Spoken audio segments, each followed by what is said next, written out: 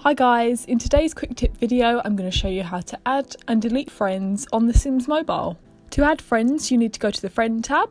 You can find that by clicking on the arrow button down the side of your screen. This will then open out onto the first tab which is Parties and the second one is Friends. So click on this and it will show you the friends you currently have on the first tab. If you click on the third tab, you'll be able to add friends. Under where it says enter friend code, send invitation, it shows you your friend code. This is the code that you need to add other players. I've covered mine up so I don't get loads of friend requests.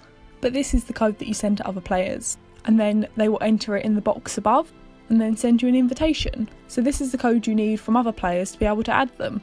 So when you have their friend code, you enter it into the box, click send invitation, and then on their game, on the third tab down, which is messages, they will be able to accept your friend request. When you have requested to be friends, they will appear on the first page of your friends list and it will say friend request pending until they accept you. I ran a little competition to add people as friends on my game. If you haven't accepted yet, then please do.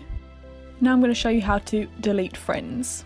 I'm not actually going to delete anyone, I'm just going to show you how it works. So all you need to do is go to the first tab where your friends are and click on the one that you want to delete. Then it will come up with view home or view profile. So if you click view home, you can go to their house. If you click view profile, then it comes up with a few options. The first one again is view home.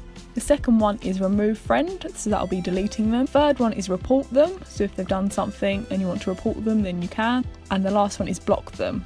So if you need to block them for any reason, then you can also do that. So to delete them off your friends list, all you do is click remove friend and they will disappear. And that is how you add and delete friends on The Sims Mobile. Thanks for watching. Bye.